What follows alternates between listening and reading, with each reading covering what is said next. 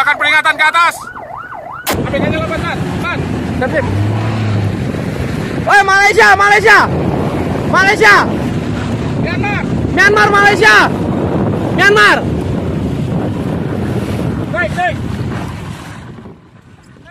Shederalun, kapal pengawas Hiu 16 Kementerian Kelautan dan Perikanan atau KKP, berhasil mengamankan satu kapal ikan asing ilegal berbendera Malaysia.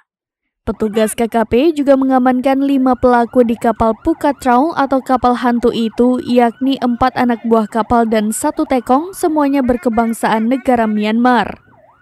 Kapal tersebut ditangkap saat kedapatan melakukan illegal fishing di wilayah pengelolaan perikanan negara Republik Indonesia 517 perairan Selat Malaka.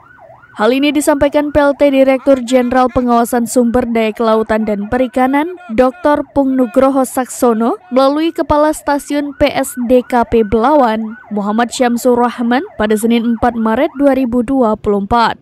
Syamsu didampingi Komandan KP Hiu 16 Albert Essing dan Kepala Satwas PSDKP Langsa Askari merilis penangkapan Kia berbendera Malaysia itu di dermaga Satwas PSDKP Langsa.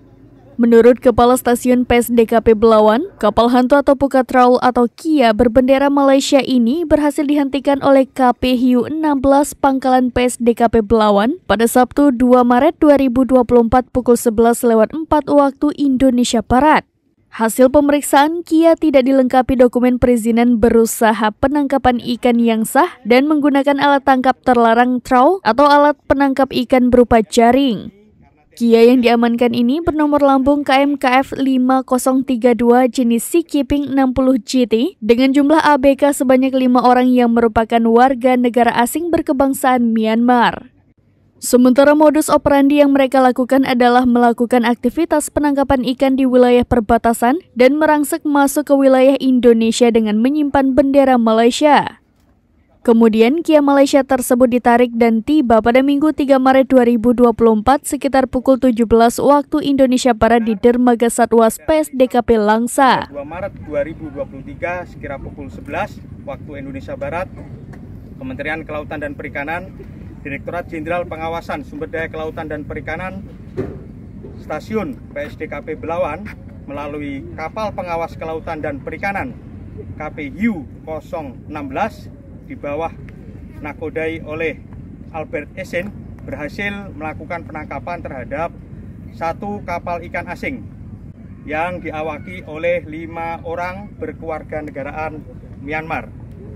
Dari kelimanya pelaku pada hari ini dilakukan serah terima awak kapal beserta barang bukti dari Nakoda, kapal pengawas Hiu 016. Dugaan pelanggaran Kia berbendera Malaysia ini melakukan kegiatan WPPN RI 571 tanpa izin yang sah dari pemerintah Republik Indonesia dengan ancaman hukuman bagi pelaku penjara paling lama 5 tahun dan denda maksimal 2 miliar rupiah. Hendrikan, peran Hendrikan, kapal ikan asing, kapal ikan asing Malaysia, AKP 16 menempati pos tugas masing-masing. AKP 16 menempati pos tugas masing-masing. Kapal ikan, kapal ikan. Awas, Tony Gap. Arahnya ke mana?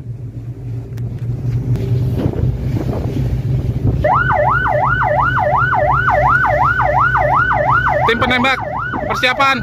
Tim penembak persiapan. Tim penembak persiapan di depan. Tim penembak persiapan di depan.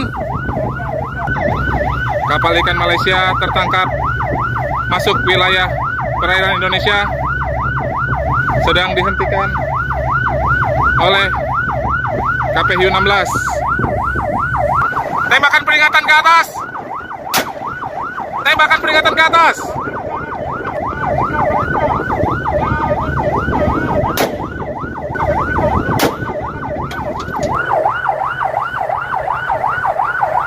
Tembakan peringatan ke atas. Tertib. Woi Malaysia, Malaysia. Malaysia. Myanmar. Myanmar, Malaysia. Myanmar. Baik, baik. Baik.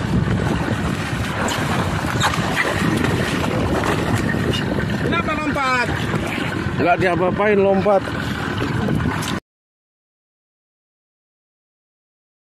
Depan!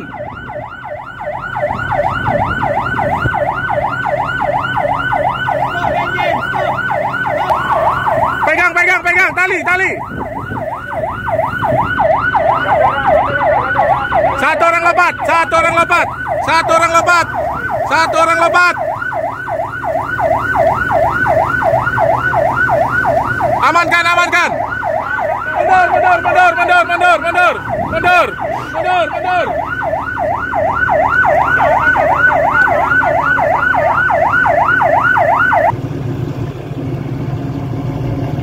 Kumpulkan di depan, kumpulkan di depan.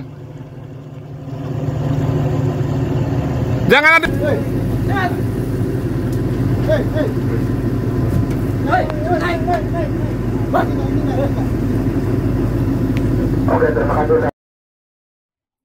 Dari Langsa, Zubir, serambinews.com. Download Tribun X sekarang. Menghadirkan lokal menjadi Indonesia.